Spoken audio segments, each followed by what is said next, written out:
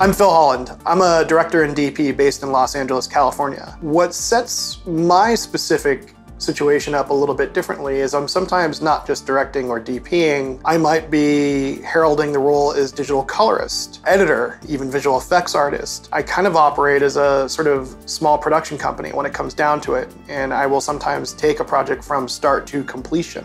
A lot of my work takes me out of town and around the world, and I end up working out of hotel rooms quite often. What I need is the capability to do color grading in the field, to do editing in the field. Sometimes I'll actually deliver a project even uh, while I'm on site. My needs are really about speed of access to the footage, you know, offloading it quickly. I want to be able to work with my native RAW files from my cameras without transcoding. So having a powerful mobile workstation is really valuable in that category. I, really don't want to have any limitations when it comes to being able to work in a hotel room versus say at my home office or at a studio. So from my perspective, the power uh, behind the Dell Precision mobile workstation and, and having four M.2 slots to have that speed of NVMe is really important. The way I configure my notebooks is I kind of have a dedicated operating system drive with the programs, and then I'll use two of the M.2 drives in a RAID 0 configuration,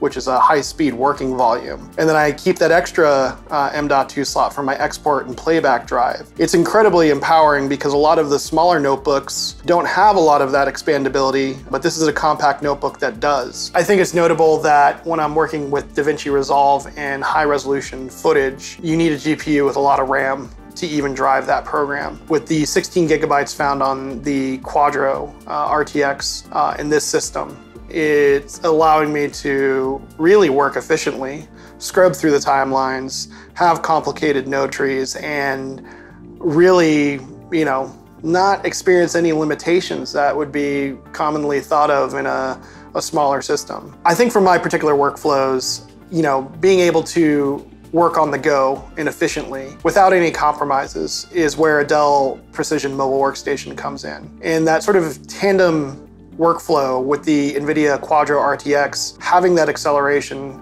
having a pain-free editing experience, pain-free coloring experience, being able to ingest footage and work with the native camera raw formats, and working at these crazy resolutions. I, I think that's something that anyone who hasn't explored these workflows should at least try. And I recommend doing it because you never know. It might save you an hour, it might save you a week, but it's well worth tackling.